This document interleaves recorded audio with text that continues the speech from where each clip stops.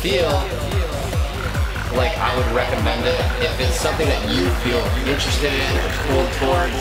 I, I, I don't think it's for everybody because I feel like you have to be on some level to be able to resonate the experience. Even be able to process, process the experience, you have to be on a certain level. I mean, it does happen naturally. People take, well, go to a party and take acid and have the whole universe show up. It does happen. But I think if you have the intention and you have a reference point, then you can have really, really profound experiences deeper into your mind. Yeah, and you can process it and integrate it into your life. So if, if that's something you're interested in, yeah, I think you should take as many drugs as you feel necessary.